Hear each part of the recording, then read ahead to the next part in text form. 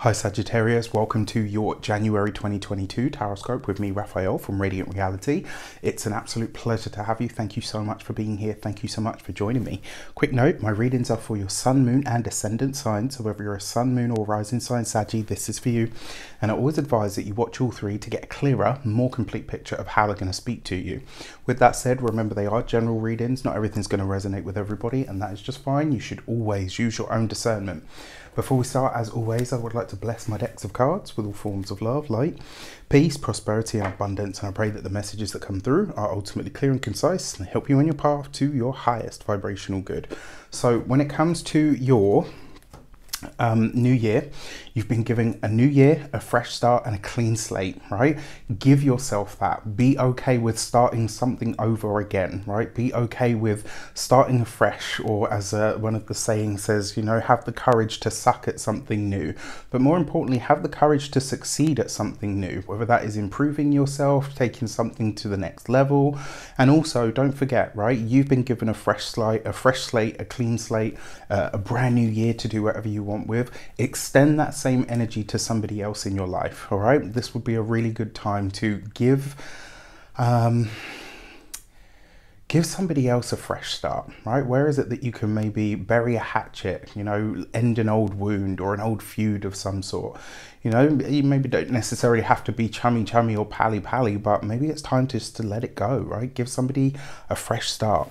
For your actions, and interactions with the world at large over the course of January, you have the Knight of Wands, right? So this is to me actually a very Sagittarian energy. So in a lot of ways, you kind of show up for yourself as yourself um, in your reading, right? And I really like this because it gives you that energy, that passion, that drive that you're known for. And this could be a time where something that really gets you emotive shows up for you, or you could be asked to demonstrate or put that passion to use, right? This might be a month where you're called into action in some way, shape, or form. And because this is about your actions and interactions with the world at large, this is you tapping into something primal this year, uh, this this year, maybe this year. Uh, this is you tapping into something primal this month, right? And I love it because this is your card, it's your energy. The only thing that I will say to you with this is if you, you know, try not to want to, we all want to do everything at all the, you know, all at once try to find a specific focus, right? Give this explosive, passionate energy something to do. You've got Mars currently moving through your sign. Uh, I think it will be coming into the sign of Capricorn not too long from now. So, uh, you know, use this while you've got it, but make sure, like, when we give Mars something to do, it does it really well, all right? Uh, now, for your money and materials, you've got the Four of Pentacles. So it looks like a lot of you are getting really serious about some form of travel. Maybe for some of you, you're getting really serious about your savings it looks like there will be opportunities for you to really revise the budget this month or to look at the finances, to look at the resources in some way and think, okay, what can I do here to improve this? Now, it is the Four of Pentacles, which does suggest that this is not necessarily the best time to make any big financial moves. I very often see this when somebody's saving for something big, um, you know, especially in personal reading. So if you're saving for a mortgage, if you're saving to buy some big purchase, this month you can absolutely cake it right? You can really put to uh, put some money away which is great. It's just not necessarily the right time to go ahead with the purchase at this moment in time if you are going to make a big purchase this month just make sure you're you remember what i said right? That explosive powerful dynamic energy needs something to do. And uh, with this four of pentacles you might feel restricted this month um, when it comes to the resources. Maybe it's like well you know this is a great deal. I want to do it now if it's a great deal now, it will be a great deal later as well. All right. So this is something that you, this might be a month where you're having to really curb your um, enthusiasm, let's say, when it comes to making a big purchase of some sort. Just watch out for that. All right. So for your uh, communications and conversations, you have the Seven of Wands. So you've got this with the Four of Pentacles, and I almost want to say to you, like this might be something that you, maybe something that you're now ready to cash in, right? Whether this is a favor, whether it's a debt, whether it's something that needs to be returned to you, and I kind of feel like you might have a challenge here. It's like you know when you um, sometimes you have a situation where you get into and it's like, oh, you know, that thing that I loaned you, can I have it back? Um, and you know, there's all kinds of challenges, issues, or drama with this. I don't know why, but I'm just getting the really sneaking suspicion that someone or something is backtracking on something that they'd already agreed to return to you, to give back to you. You've got this right next to this Four of Pentacles as well, which suggests there might be a monetary slant to this. Um, if that is the case, my advice with this measure of cards just cut the loss for now, right? Maybe it's not the right time to expect it back. It is, after all, January. And for a lot of people that work on a salary, January is a, a really brutal month, right? So just keep that in mind. I'm not saying to forgive it. I'm just saying, you know, keep keep in mind the time of year that it is, etc. Now, the other thing that comes up here as well, because it is next to the Four of Pentacles, you might have some challenge or issue trying to pull push some kind of paperwork through.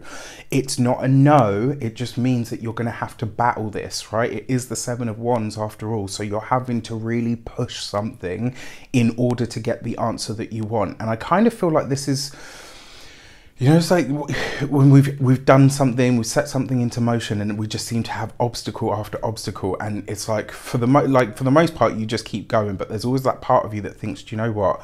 Maybe it's not working because it's not meant to happen, and then that resilient spirit kind of kicks in and says, no, it's going to happen because I've I've come this far, and I haven't come this far to only come this far this feels like one of those moments. And I'm going to be really honest with you because it is next to the Four of Pentacles.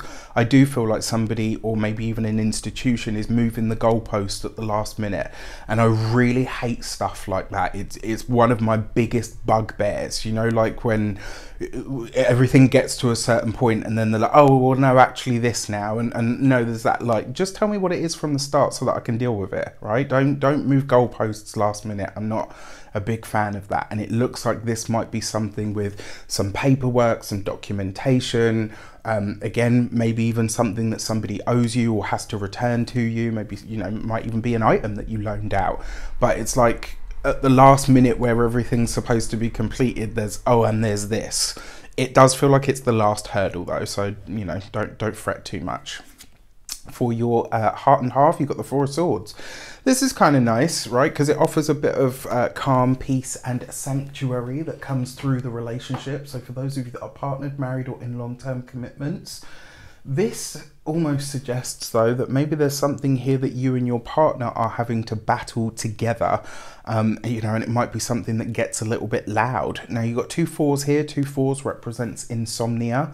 So um, watch out for this this month. Now, it might be as well, because it's the Four of Swords in the heart and half. Maybe it's your partner that isn't able to rest and chill and relax, right? Or maybe it's you that's not able to rest and chill and relax. It's like, you know, when you're when you're in a relationship and like one of you is not sleeping so well and then like you kind of bear the brunt of it and you, you know you have to you know, it is what it is um, this might be the case this month so just watch out for that for those of you that are single this is going to be a slow month when it comes to dating, the dating life, etc. And I actually think that's the break that you need because there's obviously a, a, whole bunch of other drama going on here for you in some area of your life. So just watch out for that. All right, now for your weeks of the month, for the first week of the month, you have the Justice card right underneath the um, Knight of Wands if there's any legal situation, if there's anything to do with paperwork, documentation, etc., I would just be careful here. There's uh, this kind of really interesting feeling to, to me that it's almost like you're rushing in to sign something because you feel like it's not going to happen otherwise. It's like, no, no, if I don't do it now, it's not going to happen. That might come back to bite you in the butt. So just uh, not even choose wisely, move wisely, right? If you're going to sign something, again, we've got Venus retrograde most of the month, uh, in fact, the whole month basically, uh, and then we've got Mercury going retrograde on the 15th. So just be aware that those energies are floating around somewhere. For your second week of the month, you have the Sun card, right? Look at that right underneath the Four of Pentacles. This tells me that the finances, the money, the resources that you need are absolutely available to you.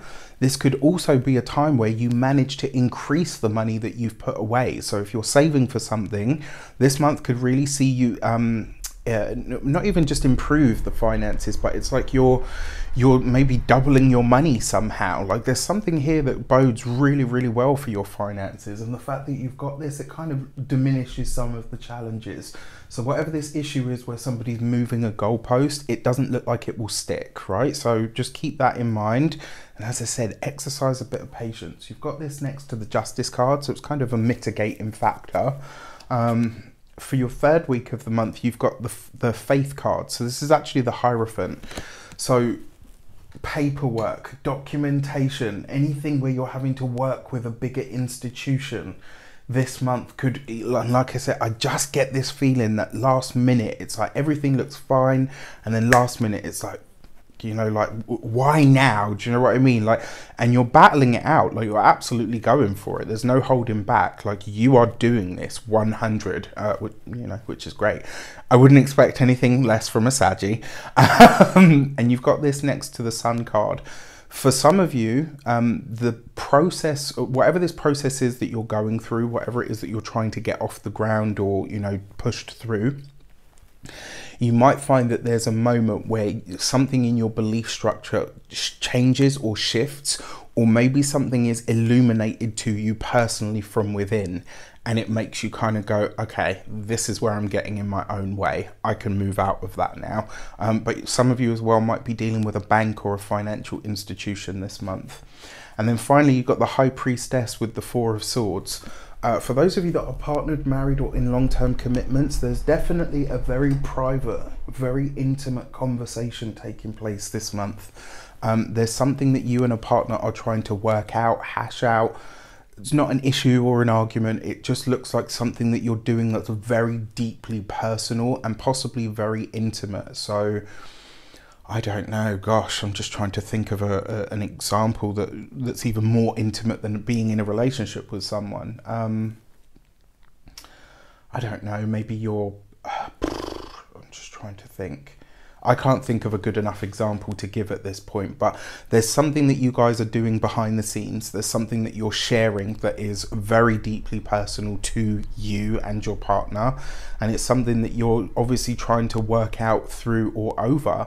Um, very, very interesting, especially because this falls next to the Hierophant card which does make me wonder. Um, you know, now for those of you that are single, it looks like some of you might be getting into something with somebody who is not single. All right. And the only thing that I will say to you, whenever the high priestess comes up and represents um, a, a, clandestine affair, um, said Lady Chatterley. um, whenever something like that happens and it comes up through the high priestess, it's not long after that it's discovered. Um, I'm not saying that you guys are, you know, most Saggies tend to be above board with a lot of things, but I will say that if you are in that sort of situation, you probably have around six weeks, six to around six to eight weeks before you're going to have to say something or you're discovered. So be careful. Um, I don't know why. Maybe it's because of the way that the lady works. Um, but I've noticed that in my practice, so I would just be careful. All right, when it comes to your uh, new moon message, you've got the gate 10 and empower. I love this card because it always reminds us that by being truly, authentically ourselves, um, this new moon is going to show you how to truly sit, stand, and be in your power. And by just living that truth, it's going to filter out and everybody else around you is going to be able to do the same. The only thing that I will say to you is give yourself permission to expand, all right, whatever that means to you. When it comes to your full moon message, you've got the gate 22 and grace. Um, so a very, very interesting card here, I have to say, for the full moon. This is going to highlight to you where your person is your person um, for a select few of you where maybe your person is no longer your person. And the other thing is the full moon is really asking you to tap into your own creative juices to do something that you feel is worthwhile in terms of creation. All right. With that said, I wish you an abundance of all of that good stuff. Have a fantastic month. Let me know in the comments how it shapes up. For those of you that are continued subbies, you know I love you for it. And if you're new to my channel, please don't forget to like, share, and if you should so choose and this resonated with you, hit that subscribe button. Have a fantastic January. Happy New Year. I truly hope you have a wonderful one. Take care, and I'll see you soon.